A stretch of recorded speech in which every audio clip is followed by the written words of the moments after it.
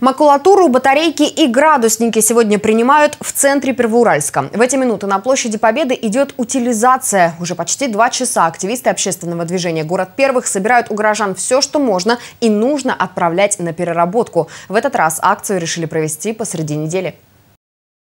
Это экс эксперимент. А, он обусловлен, во-первых, тем, что это все-таки лето, и на выходных люди уезжают на дачи, кто-то уезжает отдыхать. И мы, соответственно, вот решили попробовать действительно это провести, во-первых, в будни, во-вторых, вечером с 17 до 19.00. Как подсчитали общественники, в будни люди также активно сдают вторсырье. Многие горожане пришли в пункт приема сразу после работы. За пару часов активисты общественного движения собрали несколько сотен использованных батареек, несколько коробок пластика и металла. Чаще всего первоуральцы сдают макулатуру. Собранные элементы питания, градусники и ртутные лампы активисты при поддержке группы ЧТПЗ передадут в специализированную компанию, которая займется их утилизацией. А вот пластик, бумага и алюминиевые банки отправятся на переработку. Вырученные за них деньги общественники пожертвуют Первоуральскому обществу защиты животных.